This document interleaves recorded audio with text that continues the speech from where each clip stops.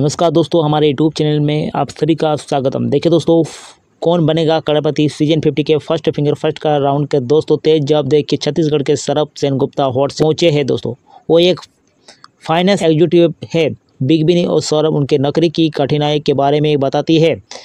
मेजबान ने उससे पूछा कि वो जीती हुई राशि क्या करेगा? और सौरभ ने बताया कि वो बहुत अच्छा खाना बनाते हैं। उनका सपना है कि खुद का रेस्टोरेंट खोलने का सपना है। इस दौरान कॉन्टेस्टेंट सौरभ, अमिताभ बच्चन को दोस्तों अंधविश्वास पर चर्चा करते हैं। सौरभ बताते कि अंधविश्वास है और घर छोड़ने से पहले किसी पर्टिकुलर इंसान का चेहरा नहीं देखने की कोशिश करते हैं, क्योंकि उसका दिन भाग दौड़ में ही ख़त्म हो जाता है। उस शख्स का नाम बताइए। बिना वो बताते हैं कि अगर वो उस व्यक्ति से मिलते हैं तो चकमा दे देते हैं। इस दौरान उन्होंने बिग बी से सवाल किया कि क्या बिग बी आत्मविश्वास से विश्वास करते हैं? और मेगा ने भी मज़ेदार जवाब दिया, बिग बी कहा कि हम नहीं करते, पर हमारा जो गाड़ी चलाते हैं, वो मानता है।